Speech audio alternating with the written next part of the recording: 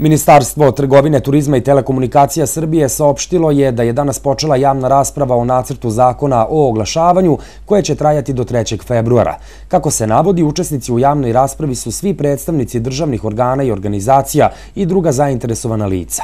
Dodaje se da će po okončanju postupka javne rasprave Ministarstvo trgovine, turizma i telekomunikacija analizirati sve sugestije, predloge i primetbe učesnika i sačiniti izveštaj o sprovedenoj javnoj raspravi.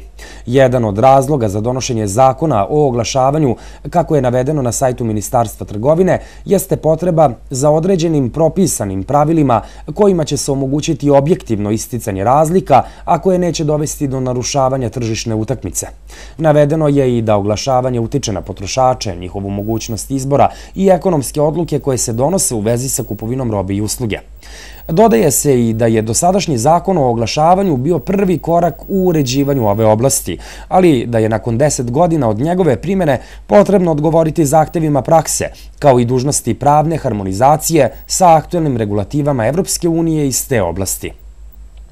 U nacrtu zakona o oglašavanju piše da je nedopustivo oglašavanje kojim se primalac oglasne poruke dovodi u zabludu u pogledu cene robe, oglašavanjem navodne rasprodaje ili prividnog sniženja cene robe ili usluge, kao i u zabludu o stvarnoj vrednosti robe ili usluge obećanjem oglašivačkog poklona. U oglasnoj poruci nije dozvoljeno upoređivanje ranije cene i važeće tekuće cene za istu robu ili uslugu ako je ranija cena prividna ili na drugi način neistinito prikazana, odnosno ako nije postojala stvarna mogućnost nabavke po toj ceni.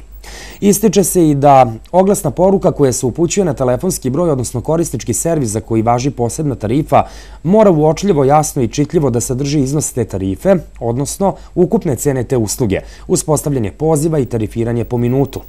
Radnu grupu za nacrt zakona o oglašavanju, koji je formiralo Ministarstvo trgovine, turizma i telekomunikacija, čine predstavnici grupacije oglašivača i marketiških agencija pri Privrednoj komori Srbije, Međunarodne asocijacije oglašivača, Udruženja potrošača, Asocijacije medija, stručnjaci za medijsko pravo, kao i predstavnici samog ministarstva.